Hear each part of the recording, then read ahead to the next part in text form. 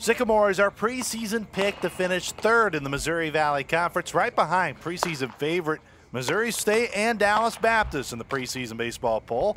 Just being able to get back into the annex and know the season is literally right around the corner excites this group. Yeah, I mean, we've all been going at it uh, ever since summer ball. Like right after that season was done, we all went back to the summer and started to get to work, and then it just carried on through through now, and we're all having fun with it, and we're excited. Honestly, like you don't even think about it being as your last go around when you show up here in the fall because you've got that entire year to kind of prepare and get to the season.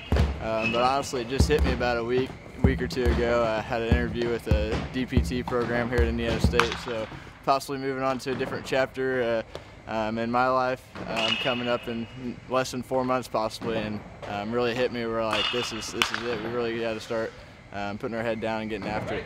We came to campus ready to work. Uh, all these new guys coming in really had to get them educated on what the expectation for Indiana State baseball is and keep moving forward. Um, these days during the winter here long. Uh, I just told Tyler Ward they call it dog days of winter. That's not even a real thing but it's what it feels like. Um, just constantly doing the same repetition every day, uh, making sure that you come in with something to focus on better each day and get us prepared for that first pitch in Jacksonville. You heard from two Sycamores, Tristan Polly and Jared Watkins, who are both preseason All Valley baseball team. The expectations in Terre Haute are always high internally, but this year there is no secret making the NCAA tournament is not just a goal, it's a must. Well, every year, Coach Smiley, Coach Tiegs, all the coaches, they go around and recruit. That's what they recruit for is players that they think they're going to be able to take us to that NCAA tournament. And in past years, we might not have gotten there, but this year, this year's team is special. Um, I said it from the first team practice that we had. Uh, we have a lot of leaders on this team. It's not just one guy. It's not a one-man show. Um, we have so many different key pieces.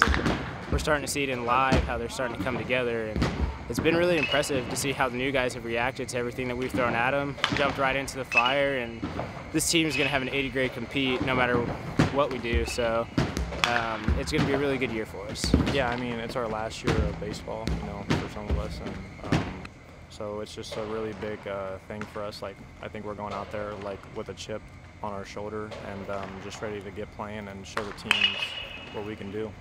Sycamores believe what was a weakness last year will be a strength in 2019. The bullpen and pitching staff has added key arms, but more importantly, each member that is returning from a year ago has made bigger strides.